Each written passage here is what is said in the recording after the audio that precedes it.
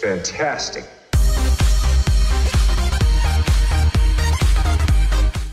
Guten Tag, willkommen zur 17 Uhr Folge von Let's Play Clash of Clans mit Fred. Ich müsste mir euch mal wieder rasieren, fällt mir gerade mal auf. Aber egal. Wir wollen jetzt mal auf den Clankrieg gucken.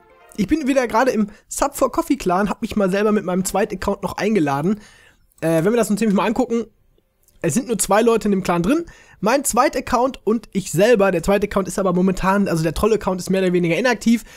Ich habe auch nicht mal mehr Gold, um hier überhaupt noch was zu machen. Ich habe jetzt aber mich mal dazu entschieden, äh, warte mal, ich habe doch zwei Sachen ausgebaut. Ah, hier.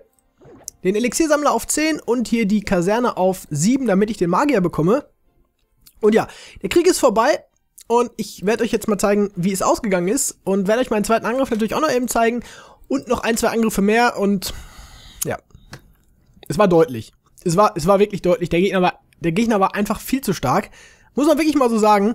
Wir gucken uns mal an den ersten. Das finde ich schon hart, ey. Der zweite, dass der zweite bei unserem ersten, bei unserer Maxed Out Base zwei Sterne holt. Boah, krank, ey. Der ist echt.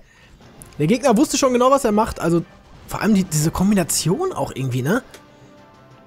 Das ist schon irgendwie, ich nehme meistens immer drei Packers, er nimmt jetzt nur zwei und ich werde es mir mal genau angucken, vielleicht kann ich davon auch noch einiges lernen. Weil das sind ja auch immer so Sachen, ne? Lernen von den, quasi lernen von den, von den Angriffen auch des Gegners. Man kann nicht nur von seinen eigenen Angriffen lernen, man kann auch von den Angriffen des Gegners natürlich auch viel lernen und deswegen gucken wir uns das einfach auch mal an und schauen einfach mal, was der Gegner so gemacht hat, der Vincent. So. Er setzt jetzt da oben die, der oben setzt jetzt seine Klarmucke hin. Okay, da ist eine Hexe drin und Magier, das macht, ist natürlich schon mal sehr sinnvoll. So. Eine, einen Riesen auch dahin gesetzt, einfach nur zur Ablenkung. So, und jetzt kommen die. Jetzt kommen die äh, Golems, okay. Magier hinterher, alles noch okay. Jetzt hat er aber noch acht Magier übrig. Er hat sehr viele Magier. So, Wutzauber gesetzt. Und, und, und, und, und. Hat er den Mauerbrecher, hat er jetzt keinen mehr. Okay, der Sprungzauber war natürlich auch richtig gut. 40er Held, mal eben platt gemacht. Jetzt kommen die Packers hinterher. Ja, das war schon er, er, wusste schon genau, was er da macht. Er wusste es wirklich schon genau, was er da macht. Der, der Sprungzauber war auch echt gut. Das werden wir jetzt nämlich gleich mal sehen. Da hüpfen schon die ersten rein. Frostzauber nochmal rein. Und, und, und, und, und. Ja. Da ist, der, das ist der erste Inferno ist jetzt schon weg. Das Rathaus ist weg.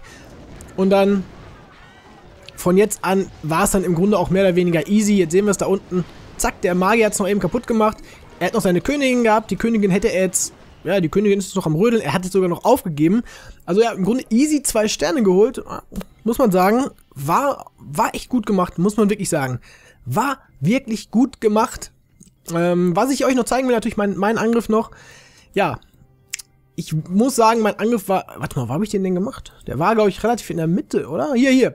60%, allerdings nur ein Stern. Ich war nicht zufrieden mit meinem Angriff, muss ich ganz ehrlich sagen. Das war nicht mein best, das war nicht mein bester Angriff. Ich hatte vier Packer, 17 Magier, 6 Mauerbrecher, ein Sprung, 2 Wut, 2 Freeze und meine Helden. Und in der Clanburg hatte ich auch noch einen. Äh, hatte ich da noch einen Golem drin oder einen Packer? Weiß ich gar nicht. Ah, ne, hier habe ich nur mit zwei Golems angegriffen. Ich hatte, glaube ich, noch Magier in der Clanburg. So, der Wutzauber war viel zu weit vorne schon. Das, damit fing es schon an. So, Magier hinterhergesetzt. Hätte ich mir vielleicht auch noch ein paar aufsparen sollen. Gut, sie gehen jetzt halbwegs in die Mitte rein. Ähm, Clan-Truppen kommen raus. So, Packers laufen auch, ja, die beiden Packers hier laufen, äh, die drei Packers laufen noch nach außen. Das war natürlich auch nicht so ganz so gut. So.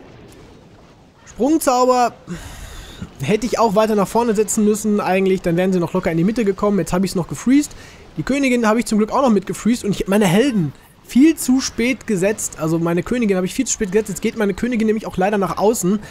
Was eigentlich auch nicht so der Fall war. Ich hatte Hexen, ja klar. Okay, ich hatte Hexen. Der Angriff war wirklich der Angriff war wirklich nicht gut. Der erste war okay, da habe ich auch zwei Sterne geholt. Aber dieser Angriff war nicht gut. Und aber wir sehen es gleich noch. Wir sehen es jetzt gleich noch. So, die Königin ist jetzt noch, die Königin ist außen. So, der erste Inferno ist weg. Der zweite ist auf Single, das ist nämlich sehr gut. So, und jetzt kommt's. Die, die Magier, die wir jetzt da sehen, gehen jetzt aufs Rathaus drauf. Und, und, und, und. Jetzt gucken wir mal. Jetzt gucken wir mal, wie, wie, wie viel da noch übrig ist vom Rathaus. Ah, guckt euch mal an. Das war noch übrig vom Rathaus. Das hat mich von meinem... Das hat mich von meinem zweiten Stern getrennt. Die Königin! Wieso geht sie nicht in die Mitte? Schade. Wenn, die, wenn sie in die Mitte gegangen wäre, wären es easy zwei Sterne geworden. Ja, war nicht... Die Königin war nicht gut gesetzt. Ähm, wenn ich sie richtig gesetzt hätte, wäre sie auf jeden Fall in die Mitte gelaufen. Aber so...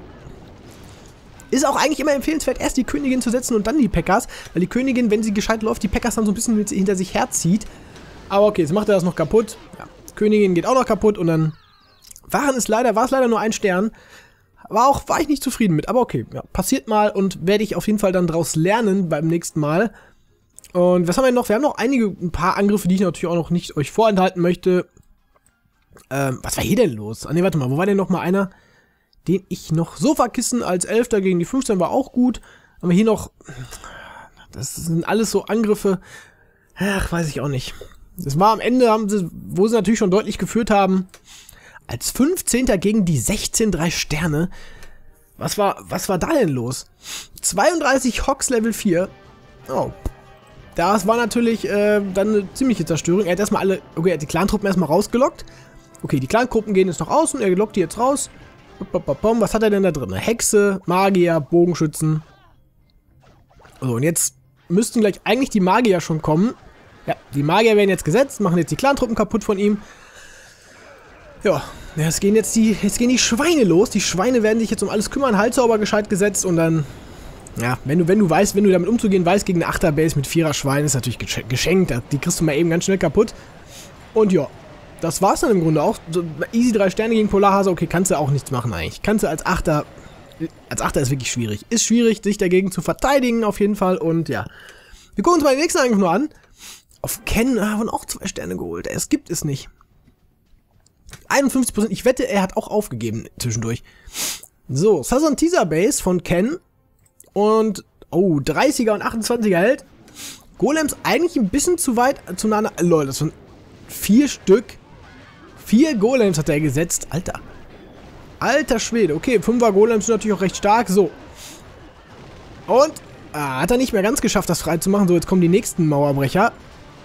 Auch nicht geschafft. Die Mauerbrecher waren eigentlich gar nicht so gut gesetzt. Der Sprungzauber Müsste ganz gut sein. Jetzt kommen die Clan-Truppen raus. Was macht er jetzt noch? Keinen einzigen... Hat er denn keinen Freeze? Alter, gibt's doch gar nicht. Nicht einen, einz nee, einen einzigen Freeze hat er benutzt. Denke ich mal, weil er genau wusste, wenn er die Golems hat, braucht er die Freeze gar nicht. Jetzt noch der Wutzauber in die Mitte. Ja, jetzt kommen natürlich die schweren Geschütze und das Rados ist es natürlich gleich auch sofort weg. Zack, kaputt. Und die Königin räumt jetzt noch auf. Ah, gar nicht mal, gar nicht mal so dumm, dieser Angriff. Muss ich mir auch vielleicht auch mal merken gegen Multi-Infernos mit Go es war ja nicht mal... Hätte ja nur den Pekka in der Clanburg drin. Mit vier Golems. Das muss ich mir gleich auf jeden Fall... Das gucke ich mir gleich auf jeden Fall nochmal an, die Aufstellung. Weil ich die doch recht interessant finde, ne? Das ist echt schon... Königin lebt jetzt noch. Jetzt hat er außen noch die Sachen... Ja, das rettet ihn jetzt. Da außen kann er jetzt nämlich noch schön mit seinem Bogenschützen noch die Sachen wegmachen. Ja. Gar nicht mal... Die Aufstellung war gar nicht mal so blöd. Da hat er auch noch einen dann reicht's locker aus, ne, wenn du noch die beiden hast für die toten Gebäude, ja. Dann hast du gewonnen. Dann hast du gewonnen. Aber das, wir gucken mal nach. Vier Golems, acht, ah, okay, zwei Hexen hatte er. Okay. Ein Päcker in der Klarenburg. Finde ich eine ganz, er hätte nicht mal einen König, ne, also finde ich eine ganz mutige Aufstellung eigentlich, die er da gewählt hat.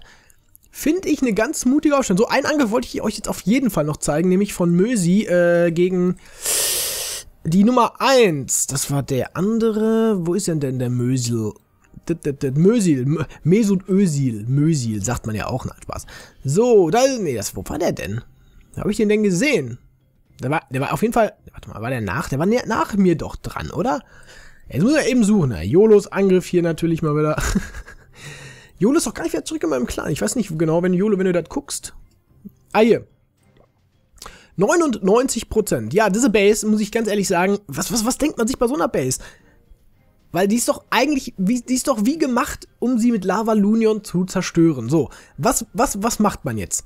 Ganz einfach, man setzt den ersten Packer, setzt man hin, man setzt den zweiten Packer dahin und hofft, beziehungsweise, da ist ja nichts großartig in der Nähe, ne? Also du hast keinen Tesla in der Nähe, das heißt, er wird jetzt mal eben ganz locker die Clan, äh, die, die, äh, die Luftabwehr kaputt machen und dann kommt. Äh, wobei ich hätte eigentlich eher den. Die, die Königin hätte ich eigentlich eher noch in, dieses, in, diesen Quadranten gesetzt, wo die Luftabwehr ist, weil dann hätte er die nämlich auch noch gehabt eigentlich. Dann hätte er alle vier Luftabwehren weggemacht. Weiß ich nicht genau. Wäre vielleicht, ich weiß nicht genau, aber ich so aus logischen Gründen hätte ich das vielleicht gemacht. So, Königin des Gegners kaputt.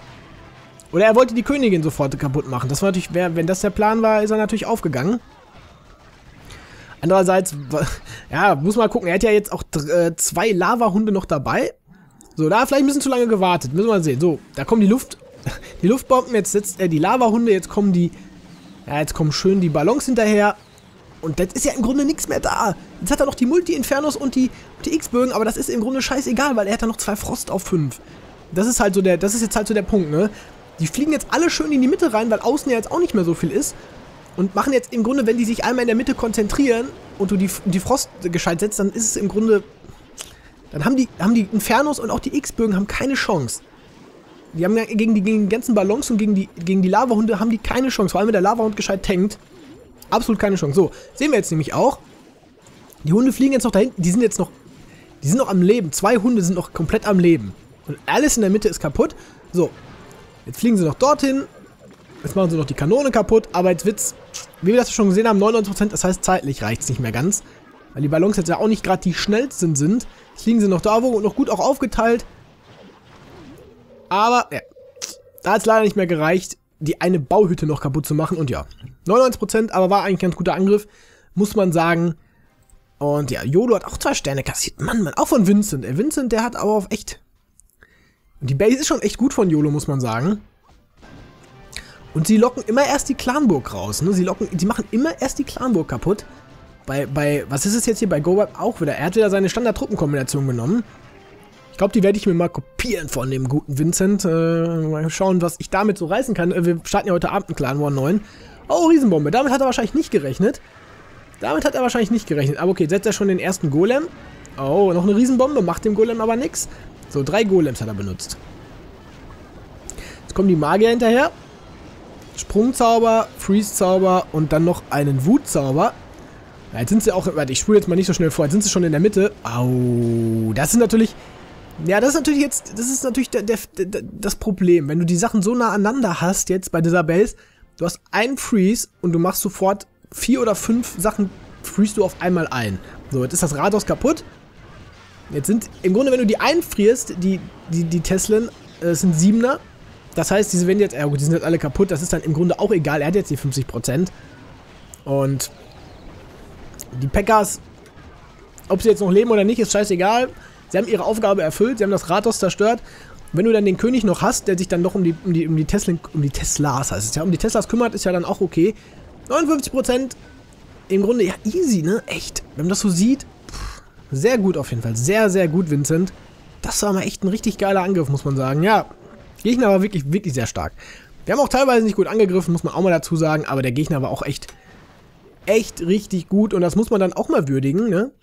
Hat mal zwei Riesen zum Rauslocken einen Bogenschützen, dann noch Magier, drei, okay, drei Golems nehme ich auch, viermal äh, den Mauerbrecher, gut, Sprung ist Standard, das habe ich eigentlich im Grunde auch. Und in der Clanburg, drei Barbaren, zwei Magier und zwei Hexen, das muss ich mir echt mal merken. Die wussten schon genau, was sie machen auf jeden Fall. Sie wussten schon genau, was sie machen. Und ja, heute Abend neues Spiel, neues Glück, wieder ein neuer Clankrieg und ähm, dann kann ich auch endlich mal wieder gleich zurück in meinen Clan gehen. Ich habe übrigens noch was vor. Und zwar sehen wir es jetzt hier. Fredonaut, ich habe mir selber Truppen und werde jetzt mir selber, äh, ja, ich mir äh, werde mir jetzt selber Truppen spenden.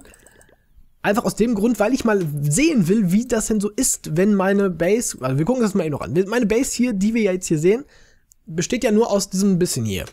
Und jetzt habe ich mir überlegt, wenn ich aber in die, wenn ich hier vielleicht dann schon äh, Valkyren drin habe oder so, vielleicht kriege ich ja dann den einen oder anderen Gegner, oder beziehungsweise den einen Gegner dazu, nicht 100% zu schaffen.